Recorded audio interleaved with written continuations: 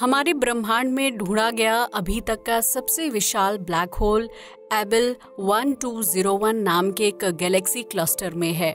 ये Galaxy cluster बहुत ही विशाल है और इसमें बहुत बड़ी गैलेक्सीज हैं।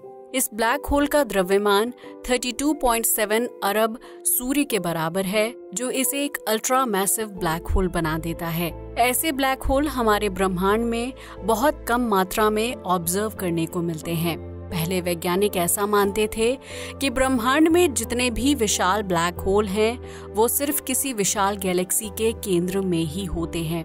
इसका सबसे अच्छा उदाहरण हमारे गैलेक्सी के बीच Sagittarius A star black hole है। इसका द्रव्यमान करीब 40 लाख सूर्य के बराबर है और यही कारण है कि ये इतनी विशाल गैलेक्सी को ग्रेविटेशनली होल्ड करके रखे हुए है। ब्रह्मांड में जितनी भी विशाल गैलेक्सी हैं, उनके केंद्र में हमें एक सुपर मैसिव ब्लैक होल देखने को मिलता ही मिलता है। लेकिन हाल ही में हुई कुछ डिस्कवरीज में ये पता चला है कि ऐसा हमेशा ज़रूरी नहीं है। ये बात वैज्ञानिकों को थ्योरी में तो बहुत पहले से ही पता थी, लेकिन प्रैक्टिकली उनको हाल ही में इसके सबूत मिले हैं। 20 साल पहले हुई कुछ रिसर्च में ये पता चला था कि एक छोटी गैलेक्सी के अंदर भी सुपर मैसिव ब्लैक होल हो सकता है। लेकिन ऐसी किसी भी सिस्टम का स्टेबल होना बहुत ही मुश्किल बात है। वैज्ञानिकों के बनाए गए सिमुलेशन से ये पता चला कि अगर कोई इतना विशाल ब्लैक होल इतनी छोटी सी गैलेक्सी में होगा तो वो अपने आप ही उस गैलेक्सी से बाहर आ जाएगा। सीधी सी बात है कि ये प्रोसेस ना सिर्फ़ बहुत लंबा होगा, बल्कि बहुत ज़्यादा तबाही बहरा भी होगा। 2023 की ही शुरुआत में वैज्ञानिकों ने एक ऐसे ब्लैक होल की डिस्कवरी की थी, जिसके पीछे तारों की एक बहुत लंबी पूंछ को देखा जा सकता है। वैज्ञानिक बताते हैं कि ज़्यादा विशाल होने की वजह से एक ब्लैक होल छोटी गैलेक्सी में स्टेबल नहीं रह पाता है और धीरे धीरे उस गैलेक्सी से बाहर की ओर जाने लगता है।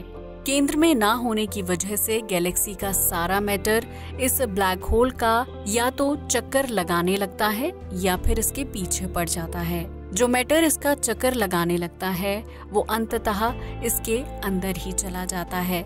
जो मैटर बच जाता है वो ऐसी पूंछ को फॉर्म कर लेता है। कुछ वैज्ञानिक अभी भी इस बात को लेकर निश्चित नहीं है कि ये पूंछ एक बड़े ब्लैक होल के गैलेक्सी से बाहर निकलने से बनी है या नहीं। हालाँकि फ़िलहाल की ऑब्जर्वेशन इसी बात की ओर इशारा करती है कि ये ब्लैक होल इंजेक्शन का ही एक एग्ज़ाम्पल है। वैज्ञानिक बताते हैं कि शुरुआत में हर गैलेक्सी के केंद्र में एक छोटा ब्लैक होल ही होता था। लेकिन गैलेक्टिक कैनिबलिज्म नाम के एक प्रोसेस की वजह से ब्लैक होल और गैलेक्सी दोनों का ही साइज़ समय के साथ साथ बढ़ता चला गया है। आपकी जानकारी के लिए बता दूँ कि गैलेक्टिक कैनिबलिज्म उस प्रोसेस को कहते हैं जिसके ज़रिए एक गैलेक्सी दूसरी गैलेक्सी को अपने साथ जोड़कर अपने साइज़ को इंक्रीज कर लेती है। ये ब्रह्मांड में होने वाला एक बहुत ही कॉमन प्रोसेस है जो ऑलमोस्ट हर गैलेक्सी में ही देखा जाता है।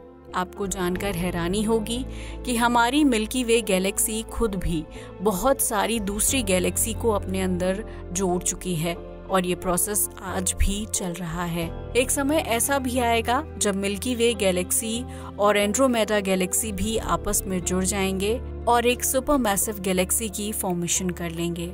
जिन ब्लैक होल्स को गैलेक्सी द्वारा बाहर निकाला जाता है वो या तो किसी दूसरे गैलेक्सी को जाकर ज्वाइन कर लेते हैं, या फिर अंतरिक्ष में ऐसे ही आवारा घूमते रहते हैं। वैज्ञानिक बताते हैं कि हमारे ब्रह्मांड की शुरुआत में भी ऐसे बहुत सारे ब्लैक होल थे, जिनकी वजह से आज हमें इतनी विशाल गैलेक्सी देखने को मिलती है।